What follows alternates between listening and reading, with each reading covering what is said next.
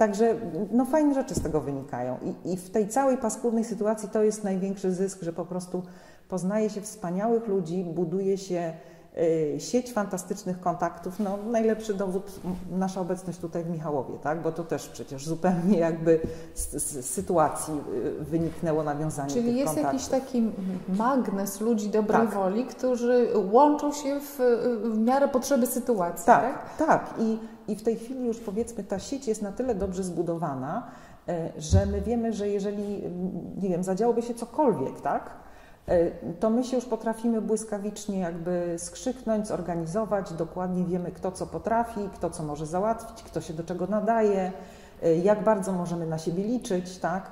E, Bo też no, cała ta sytuacja jako sytuacja ekstremalna była sytuacją weryfikującą wiele jakby znajomości. To się, to się wszystko no, pozmieniało, ale mówię, ale to, to grono, które się w tej chwili zbudowało, to daje nam takie poczucie, że no, no coś jednak możemy, tak? Chociaż oczywiście są sytuacje, gdzie nam po prostu ręce opadają i, i mamy wrażenie, że jest to walenie głową w mur i no ale, ale może Czy można kiedyś... powiedzieć, że połączył Was las? Tak, tak.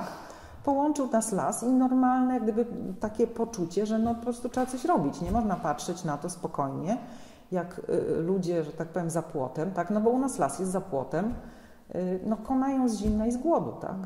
A czy nie czuliście Mhm. takiego e, być może, e, nie wiem, rozdarcia, no bo sami byliście w trudnej sytuacji, Tak. oto biznesy stanęły, e, sytuacja jest przymrożona, zamknięta, Mhm. a tutaj ludzie ci i wyciągają rękę, czy też może nie, może właśnie Rozumiem. siedzą tacy biedni e, i, i, i co, co z nimi, tak? Wam też należała się pomoc. No tak, ale to jest tak, że jak y, y, chyba bardziej hojni są ludzie, którzy mniej mają. I, i, i, i to się, i to się spra sprawdzało.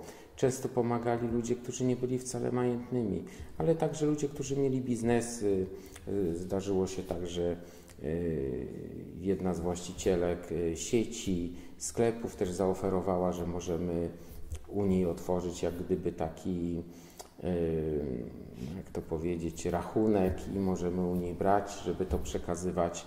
Y, Coraz więcej ludzi, jak widziało, że my pomagamy, chciało się do tego przyłączyć. Tym bardziej, że z zewnątrz nie mogliśmy mieć żadnej pomocy. Wiedzieliśmy, że sami musimy to robić. Musieliśmy być dziennikarzami, udzielać wywiadów, co też wiązało się dla nas z ryzykiem, bo władza średnio na to patrzyła. No strasznie zawiedzieni byliśmy postawą naszej gminy, postawą naszych kościołów, wszystkich, które udawały, że problemu nie ma, że nic się nie dzieje. Nie wiem, czy to taka była reakcja obronna, ale jednak, jeżeli ci uchodźcy pojawiali się, przychodzili pod dom, czy ci ludzie z lasu, to każdy białowieżanin się łamał i pomagał. I to było piękne, że nawet ludzie, którzy wcześniej się wypowiadali, że to tacy ludzie, tacy, używali tego wstrętnego słowa ciapaci, y, ale jednak jak stykali się twarzą w twarz, jak przyszedł ktoś do domu, to nagle się wszystko zmieniało, że dał wodę, pomógł, czasem do domu przyjął. Zachowywali się wszyscy porządnie. Inaczej jest zabierać głos i mówić na temat uchodźców, czy tych ludzi, których nie znamy, których się możemy obawiać, jeżeli nie zetkniemy się z tymi ludźmi. Myślę, że dużo w, w całej debacie publicznej w Polsce się zmieniło, jeżeli ludzie w Polsce sami by się stykali z takimi sytuacjami, na pewno by pomogli. Myślę, że straszną rzecz, jaka tutaj została zrobiona, to ta propaganda państwowa, która była negatywnie ustosunkowana do człowieka. Nie rozumiem tego, bo y, tą propagandę robili ludzie, którzy się mienią chrześcijanami, którzy się mienią ludźmi wierzącymi, co jest kompletnym zaprzeczeniem tego, żeby pomagać w takiej sytuacji. I wierzę, przepraszam jeszcze jedno, i wierzę, że jeżeli nasze państwo, jak teraz pięknie przyjęliśmy Ukraińców, Polacy, nasze państwo się zachowuje, że, że chce ich przyjąć, nie przeszkadza na granicy i pomaga. Jeżeli taką sytuację wytworzylibyśmy tutaj na polsko-białoruskiej granicy, przecież ta ilość ludzi tu przechodzących, no nazwijmy to 20 tysięcy, a na granicy polsko-ukraińskiej przechodziło 100 tysięcy dziennie, a tutaj 20 tysięcy przez ten cały okres, jeżeli to by było normalnie przedstawione, ci ludzie dawno by zostali wchłonięci, przyjęci i nie byłoby na granicy, bo Łukaszenka zobaczyłby, że nie, nie zdestabilizował sytuacji w Polsce i my sobie z tym systemowo poradziliśmy. Chciałbym na początek zadać. Chciałbym na początek zadać e, Państwu, każdemu z Państwa e, osobno, e, znaczy każdemu z Państwa zadać to samo pytanie. Pytanie dość uniwersalne, z kryzysem uchodźczym, z kryzysem humanitarnym, bo myślę, że głównie o tym trzeba mówić tutaj. E, na granicy polsko-białoruskiej e, zmagamy się od prawie roku. Pod koniec lipca minie rok. E, ja to pamiętam jak dziś, już taki wątek kombatancki. Byłem razem z Piotkiem Czabanem, pierwszym dziennikarzem w Usnarzu. To była końcówka lipca, trochę lepsza pogoda. Każde kolejne moje spotkanie z e, granicą, z ludźmi przechodzącymi granicę, z ludźmi niosącymi pomoc ludziom przechodzącym granicę, przesuwało granice znów rzeczy niemożliwych. Za każdym razem widziałem pewne zdarzenia i mówiłem sobie, to się nie dzieje, po czym pojawiałem się znów tydzień później, miesiąc później, trzy miesiące później i było gorzej. Pamiętam e, takie spotkanie z e, wolontariuszami z grupy Granica, pracującymi dalej na południe, e, z którymi współpracowałem tutaj w sierpniu i potem spotkaliśmy się w kulminacyjnym momencie na początku listopada i, i padło takie dla mnie z jednej strony pamiętne, a z drugiej przerażające zdanie z, z, z ust jednej z wolontariuszek. A ty pamiętasz, jakie to były spokojne i szczęśliwe czasy w tym sierpniu? E, więc zmagamy się jako społeczeństwo tak naprawdę z koszmarem. I chciałem spytać, co ten koszmar, co ten kryzys humanitarny e, powiedział nam o nas samych jako społeczeństwie, o Polakach i co powiedział nam e, o Polsce. Może byśmy zaczęli tak od księdza Kochanowskiego, e, o, przepraszam, od księdza Balickiego. Dobrze. E, Więc może tak. E, Ja bym może przypomniał, e, no, przypomniał, czy no, ja się dowiedziałem niedawno, e, że to, co się e, dzieje na granicy ze strony e, Łu- Łukaszenki, patrząc, e, to już się zdarzyło w 1980 roku u Fidela Castro, który wysyłał w podobny sposób, tylko tam przez morze, najpierw opozycjonistów, później kryminalistów z więzień, a później pacjentów szpitali psychiatrycznych. E, No i ta społeczność e, Miami początkowo była przerażona. bo To e, właśnie po prostu byli przywożeni ci ludzie prawdopodobnie, też tonęli po drodze na te, na te plaże. Później jednak okazało się, że ta społeczność sobie z tym poradziła, tych ludzi zaakceptowała, pomogła im w odpowiedni sposób i po prostu no, y, w każdym razie y, Floryda, y, Miami na tym y, zyskali y, y, bar- bardzo y, mocno. Y, Więc y, tutaj y, też y, ja myślę ostatecznie jakieś dobro z tego, y, co y, przeżywamy, y, wy- wyniknie. Ja jeszcze chcia, chciałem może też dodać, że y, w tej chwili Europa żyje też tym problemem. Mieliśmy, o przepraszam, spotkanie y, w Brukseli w czwartek y, takiej grupy Comese, to jest y, to są przedstawiciele episkopatów Unii Europejskiej, gdzie po prostu bez, ten problem tego, co się dzieje tutaj na granicy, pojawiał się bardzo często. Organizatorzy y, zaprosili y, z Komisji Europejskiej, ale ze strony tutaj y, no, władz, jedną Polkę, która mówi, mówiła o kryzysie związanym z tym, z uchodźcami z Ukrainy. No i, i tam byłem świadkiem, jak ją tam po prostu no, ta, ta grupa atakowała. Ja później za, za to, co się tutaj dzieje. E, Ja później e, prywatnie już e, z nią porozmawiałem, mówię, jak pani nie wstyd, e, znaczy może pani, e, jak, jak, jak po prostu e, no, ta sprawa wygląda w ogóle w oczach Europy i świata, co, co, co, tam, co się tam dzieje, co wy robicie? Czy nie ma e, środków, żeby e, tym naszym władzom przekazać, że to jest po prostu no, szarganie dobrego imienia Polski w kontekście jeszcze właśnie tego przyjmowania e, imigrantów e, z Ukrainy tak serdecznie i tak dalej.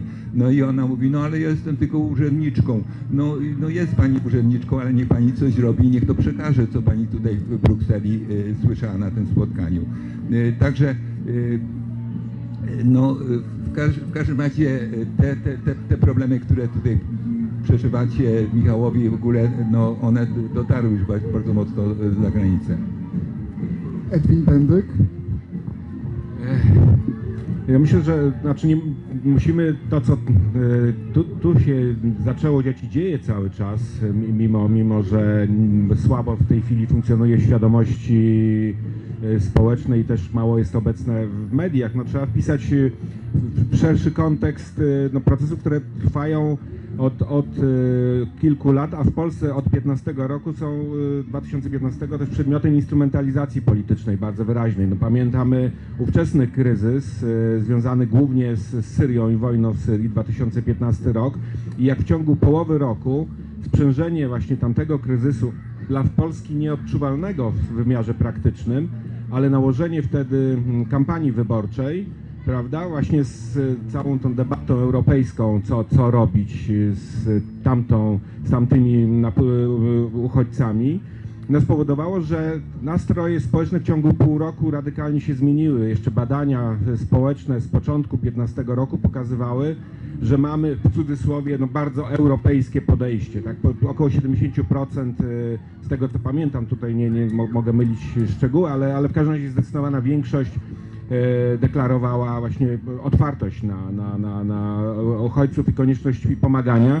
W ciągu pół roku po kampanii, którą pamiętamy i, i jakie by- były uży- używane słowa, no wręcz nazistowska Tak, no retoryka. tutaj było odwołanie się do nazistowskiej retoryki No, wprost, Absolutnie. I to, to było pełni wyborczej. świadome użycie pewnych klisz, które miały odczłowieczyć e, tę kategorię właśnie ludzi. To przyniosło skutek później, jeżeli Państwo sobie przypomnicie kampanię samorządową w 2018 roku, w jaki sposób na przykład prezydenta Krzysztofa Żuka przedstawiała telewizja regionalna, jako tego, który właśnie ściąga uchodźców do miasta, prawda, i tak dalej. I to było, e, nie wiem, e, po prostu systematyczny proces e, no, zohydzania pewnej kategorii ludzi w kategoriach no, wręcz jednak retoryki nazistowskiej.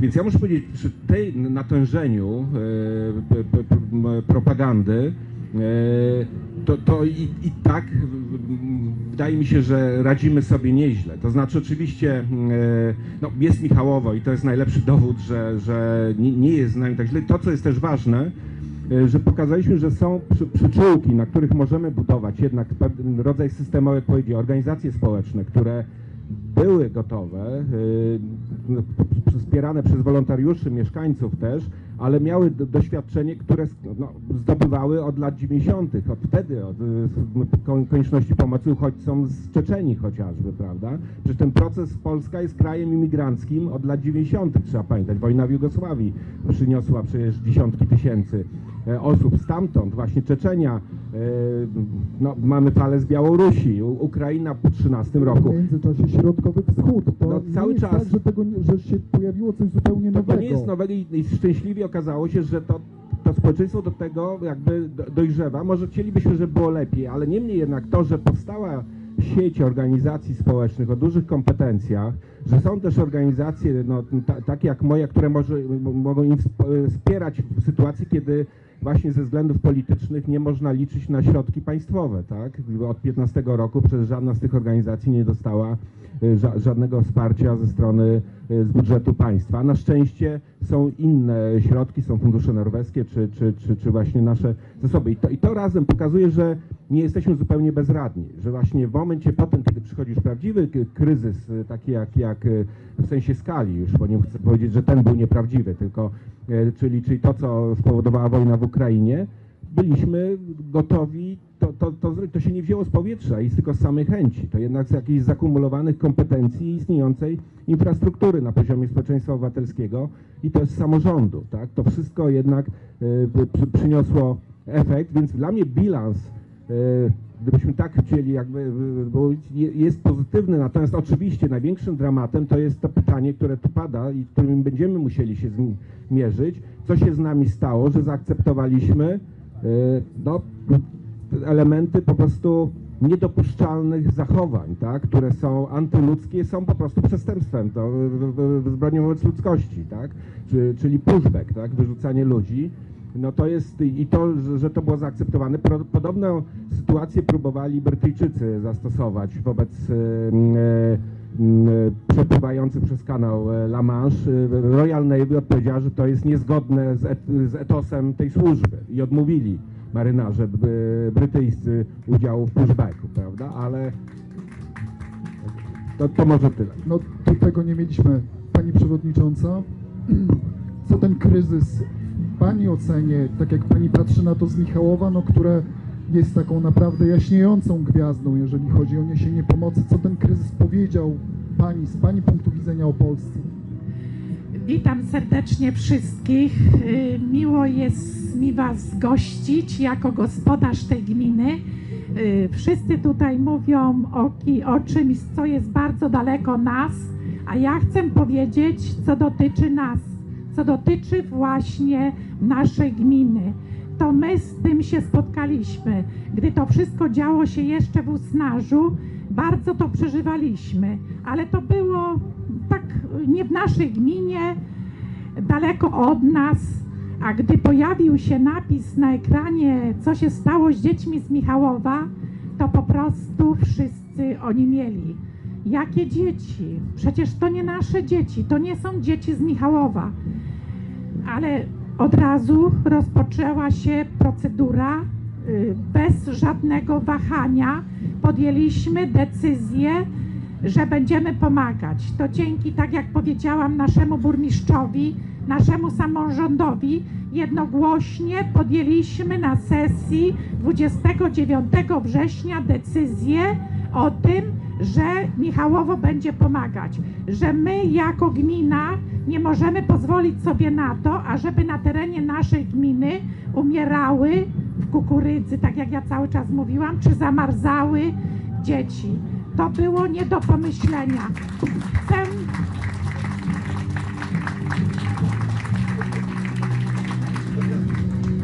Chcę tutaj powiedzieć, że od pierwszego dnia, jak tylko się zaczęło, byłam w lesie, pomagali mi w tym strażacy, jadąc ze mną do strefy, pomagaliśmy wynosić osoby, które nie dały rady wyjść z tego lasu, które były wyziębione, y, schorowane, bo w ten czas jeszcze mogliśmy to robić.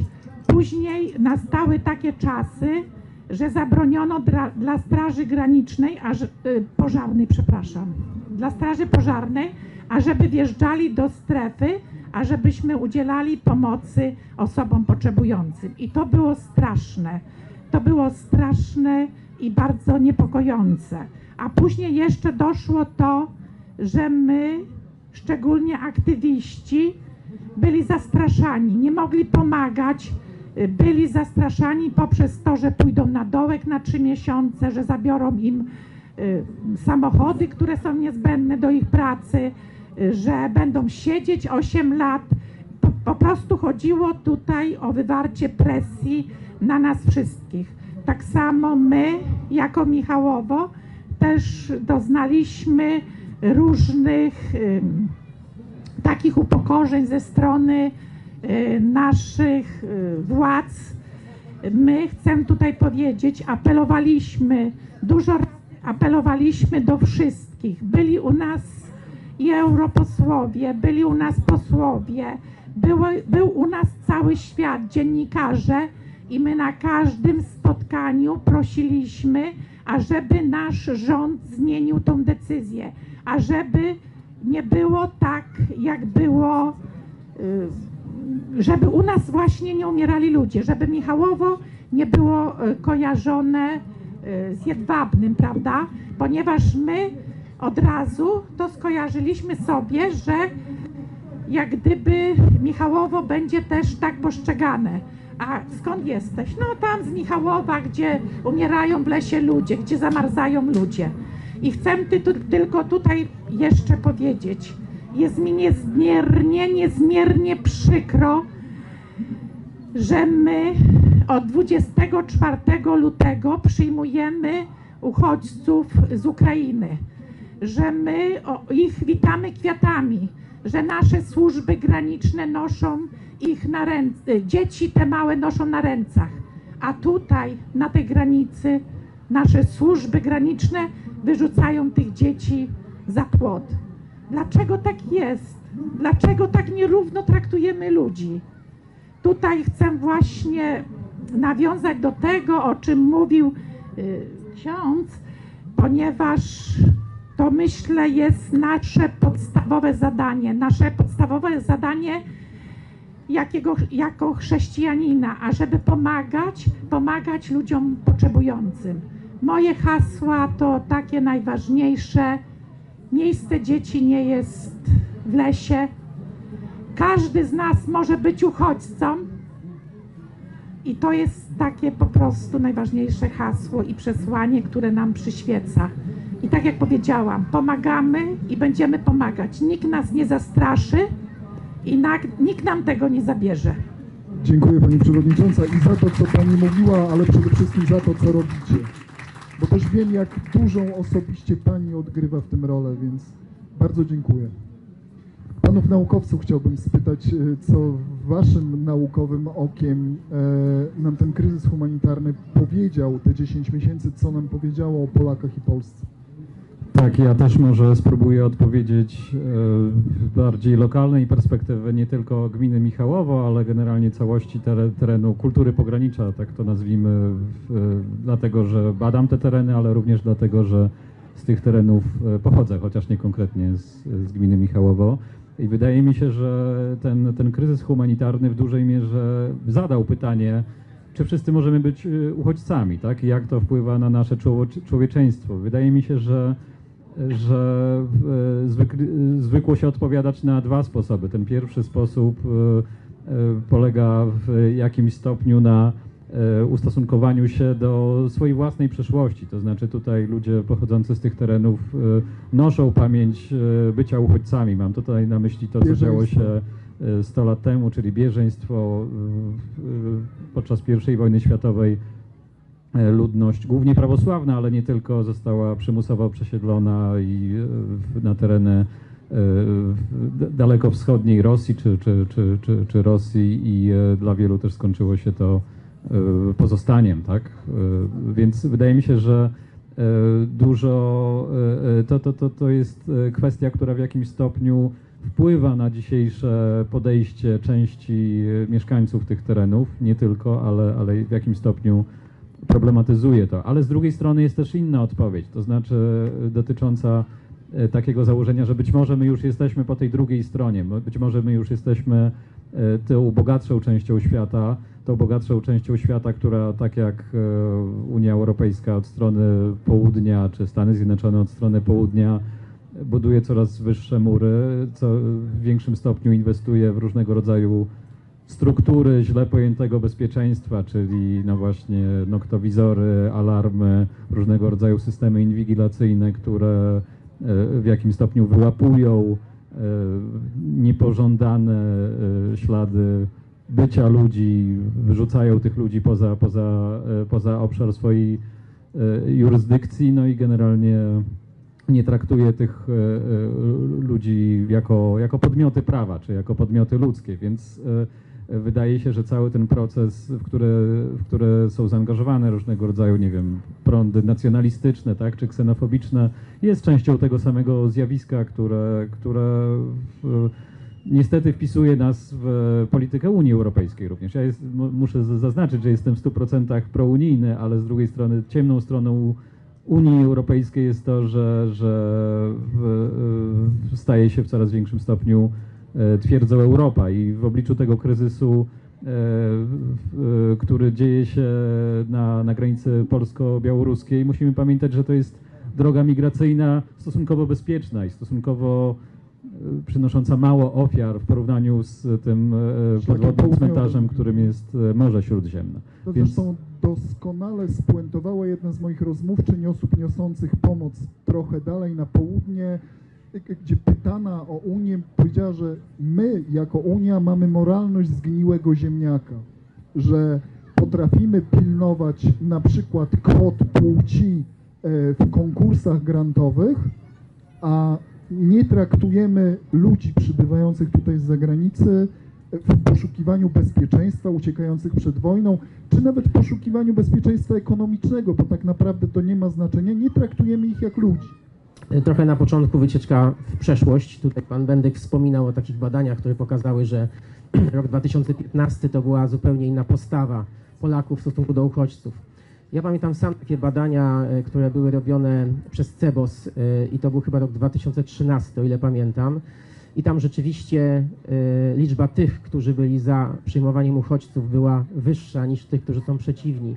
I gdzieś to potem zaczęło spadać w dół, więc mnie się wydaje, że to, co możemy powiedzieć na pewno, to, że siła narracji medialnej, ponieważ od 2015 roku rzeczywiście ten kierunek przekazu medialnego jest jednoznaczny, tak? E, Uchodźcy to jest jedno wielkie zło, my musimy się gdzieś tam zamykać, musimy być takim krajem konserwatywnym, E, Więc e, to pokazuje, że jednak można kształtować umysły, że wciąż wtedy, kiedy e, tak naprawdę wszyscy mamy dostęp do informacji, możemy je sobie selekcjonować, sprawdzać, weryfikować, to jednak siła przekazu, siła też, no co tu dużo mówić, propagandy i pewnej też narracji, bo w tych przekazach mieliśmy sporo dehumanizacji, tak?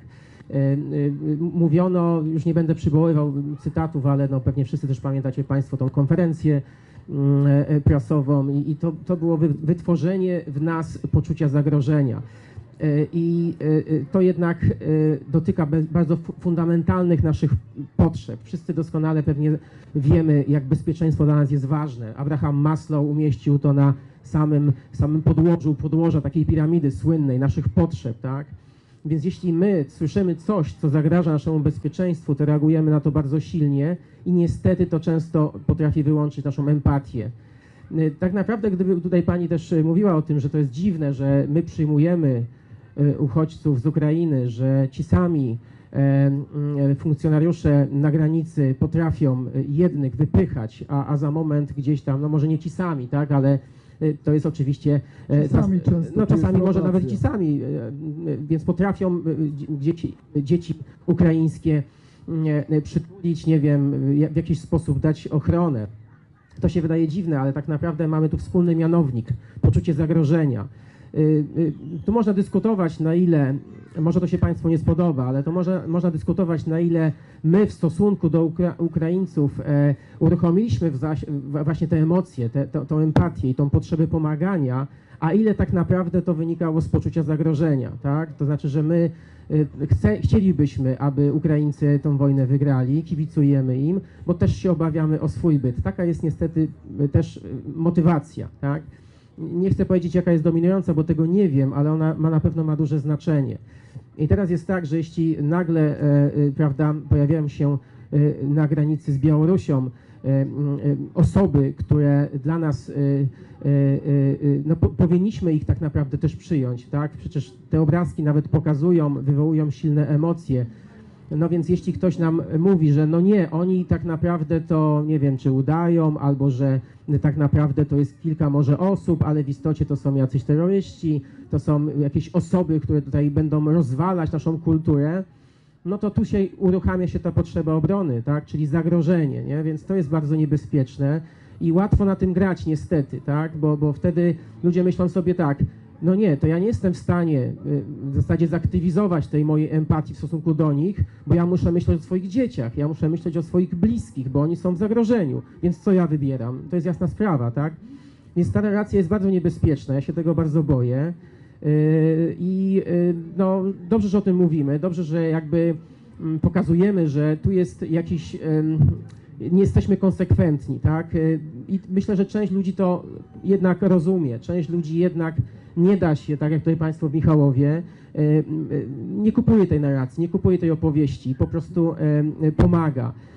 Im więcej nas będzie, tym lepiej, tak? I cieszmy się z tego, że jednak mm, trochę jednak osób powiedziało jasno, co powinniśmy robić. Tutaj jeszcze może jeden wątek, bo ja czasami jak y, jakieś y, czytam badania o, a propos wartości Polaków, albo jak my się spostrzegamy, tak? No to oczywiście mamy od razu odpowiedzi. Jesteśmy gościnni, jesteśmy rodzinni, jesteśmy w ogóle otwarci. No to w ogóle jakieś niesamowite rzeczy można z tych badań wy, Jesteśmy wyczytać. chrześcijanami. Jesteśmy chrześcijanami, dokładnie, tak? Natomiast jak przychodzi co do konkretów, to już to słabo wygląda. No tutaj, no cóż, y, y, nie chcę mocno na- narzekać na Kościół, ale czasami jak jestem w Kościele, bo czasami y, bywam, no to słyszę o, o tym, o pokoju, o miłowaniu się i tak dalej, tak? Ale mało jest konkretów.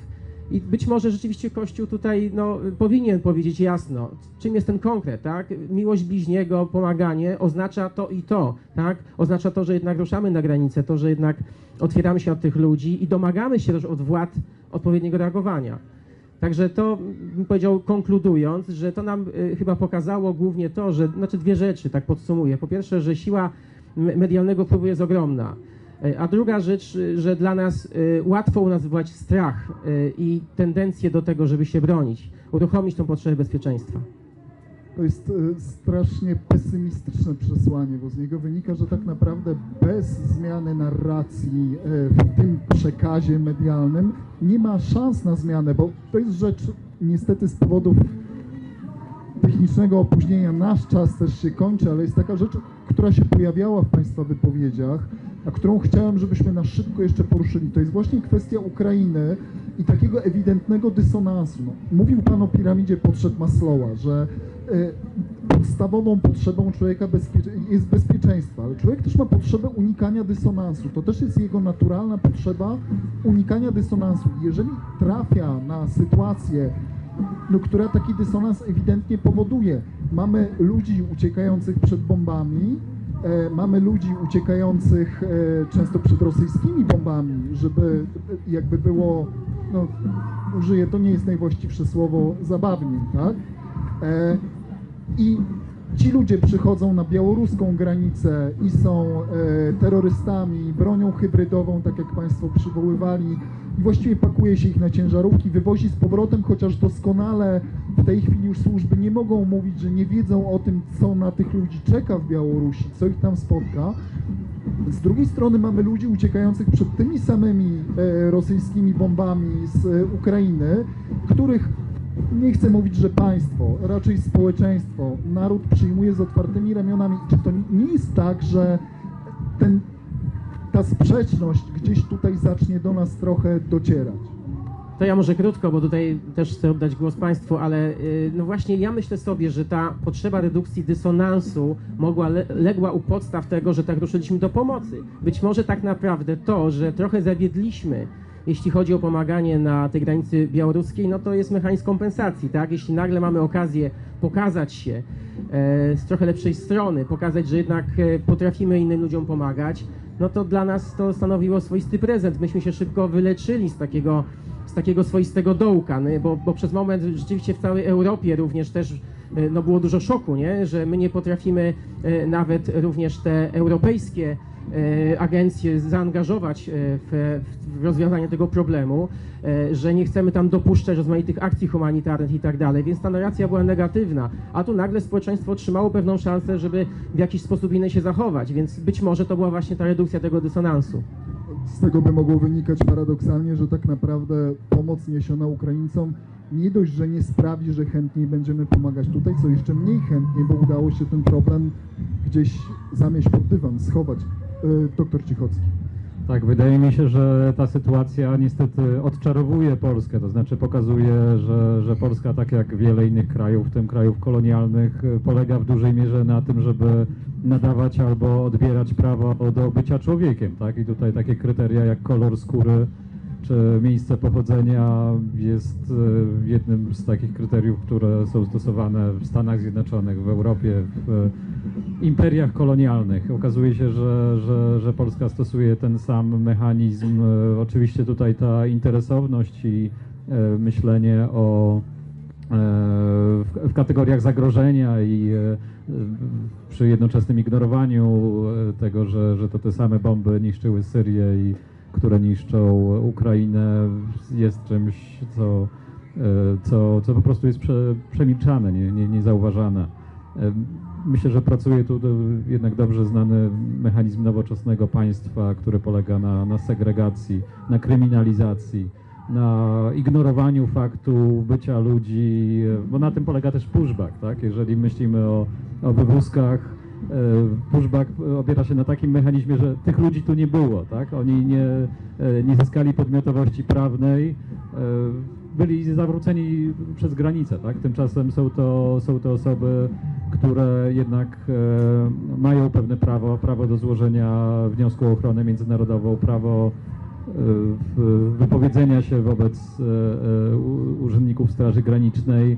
W tym momencie, e, kiedy, kiedy to prawo jest ignorowane, udajemy, że tych ludzi nie ma, udajemy, że oni nie są ludźmi. Więc wydaje mi się, że niestety chodzi o taki mechanizm. E, Pani Marylancie Piłk.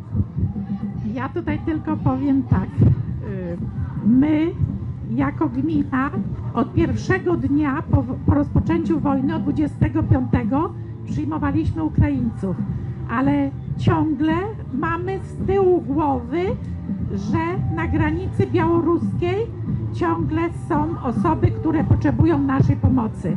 I to jest naprawdę bardzo, bardzo dla nas trudne. I my, jako gmina, chcemy pomagać wszystkim, ale chcemy też prosić nasze władze, żeby pozwolili nam pomagać. My nie chcemy od nich żadnych pieniędzy. My naprawdę poradzimy sobie sami. Tylko prosimy, prosimy nasz rząd, nasze władze, żeby po prostu pozwolili nam pomagać, żeby, pozwolili naszym aktywistom działać, żeby pozwolili nam pomagać. Przecież tu jest naprawdę mała garstka ludzi.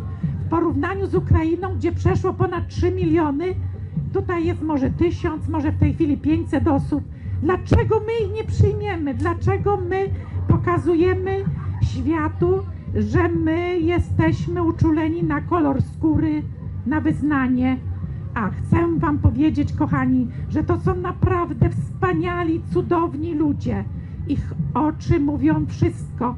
My nie rozmawiamy w ich językach, ale patrząc na nich, rozumiemy, co oni chcą powiedzieć. Jak oni błagalnie nas proszą, żebyśmy im pomogli, żebyśmy ich uratowali, żebyśmy tego nie zgłaszali do Straży Granicznej, bo tak jak tu powiedziano, znowu będzie pushback.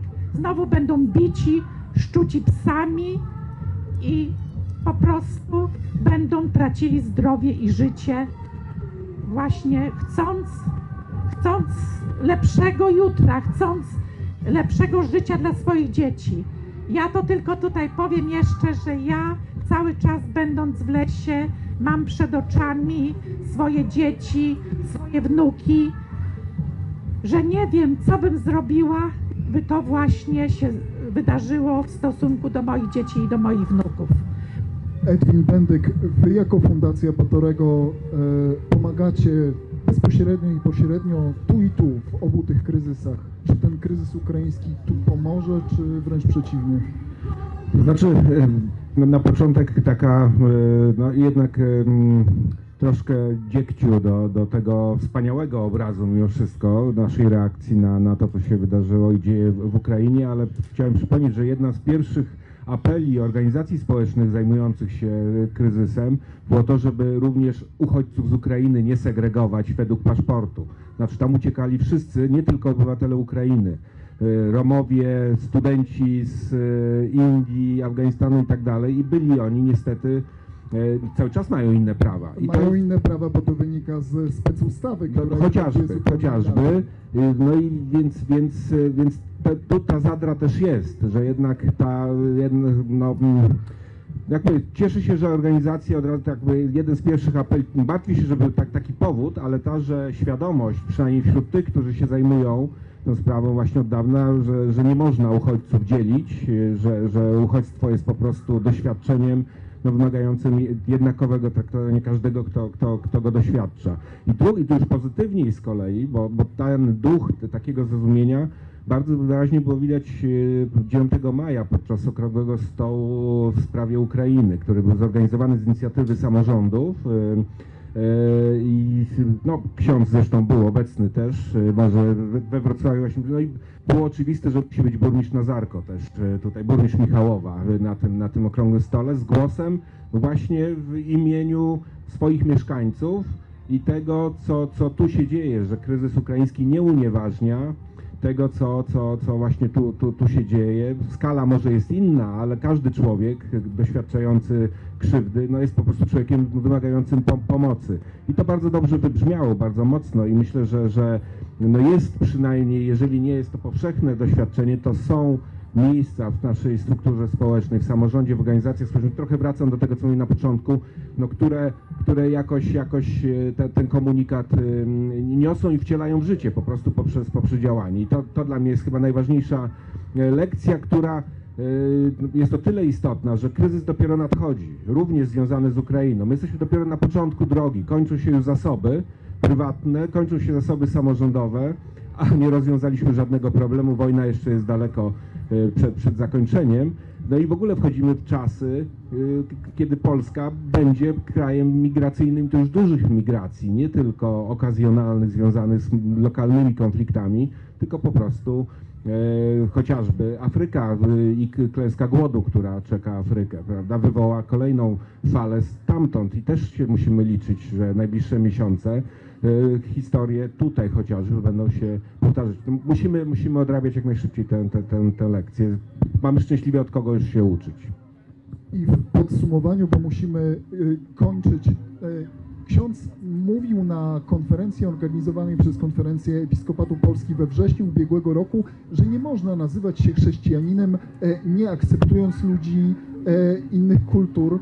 E, Więc może to chrześcijaństwo w kraju, który mieni się krajem chrześcijańskim, e, który to chrześcijaństwo odmienia przez e, wszystkie przypadki, może to chrześcijaństwo się obudzi, może ksiądz tchnie nas odrobinę optymizmu na koniec. Znaczy, pierwsza rzecz, y, to trzeba chyba patrzeć na to przez ten pryzmat populizmu, czyli po prostu tego, tej manipulacji społeczeństwem. Na Węgrzech Orban to opanował perfekcyjnie, ale w 2000 w kryzysie 2015-16 to samo nasi robili. E, Ja tu- tutaj mi się udało na, napisać taką książkę Obrona chrześcijańskiej Europy y, w cudzysłowie, przed inwazją islamu w cudzysłowie, populistyczny dyskurs polityczno-religijny w Polsce w kontekście kryzysu migracyjnego w Unii Europejskiej. I tutaj y, odwoływuje się, znaczy cytuję tam tych naszych polityków, nie, nie mamy czasu, żeby o tym mówić, ale w każdym razie, y, którzy jeszcze w dalszym ciągu są tam na, e, no, w tej chwili u władzy, y, którzy no, blokowali ten, ten, te, te, te, to, przyjęcie imigrantów ze względu na, na to zagrożenie chrześcijańskiej Europy. I, tutaj ta książka próbuje pokazać, co jest prawdziwym zagrożeniem chrześcijańskiej Europy. To po prostu nie islam, e, nie imigranci z krajów muzułmańskich i tak dalej, tylko po prostu y, nasz stosunek do tych, który, którym trzeba pomóc w tej, sytuacji, jakiej są po chrześcijańsku. I, i ta, ta, ta obojętność jest tym, tym y, zagrożeniem chrześcijańskiej Europy. Y, Tutaj jest dużo tekstów y, związanych z radiem czy z telewizją Trwam. Są zdjęcia tych ojców, którzy w, kontekście, mówiąc o, o, imigrantach, pokazują te fale mężczyzn, który, na, którzy starają się najeżdżać znaczy Europę i tak dalej. Y, Ja Państwu mogę tutaj tę książkę jakoś tam, w każdym razie, jakby ktoś chciał przeglądnąć, y, dać y, i, i ona jest też na tym, na e-booku, na stronach wydawnictwa UKSW. Y, Czyli po prostu ja, ja widzę tutaj ten problem, y, ale y, no jeśli mamy tylko, znaczy mamy opanowane te główne media, telewizja, szczególnie jedynka i, te, i tak dalej, przez władzę, tak samo jest zresztą na, u Orbana, no to trudno się dziwić, że społeczeństwo nasze no, w dużej mierze to, to przyjmuje, nie, nie, nie, ma, nie słuchając, nie czytając, po prostu nie korzystając z innych mediów. Ja podsumowując, e, to nie są to, o czym Państwo mówili, generalnie nie są konkluzje przesadnie optymistyczne. Ja chciałbym podsumować optymistycznie, że jest Michałowo. Jest Michałowo, patrzmy na Michałowo. Może to Michałowo nam się rozleje w końcu na cały kraj. Dziękuję Państwu bardzo.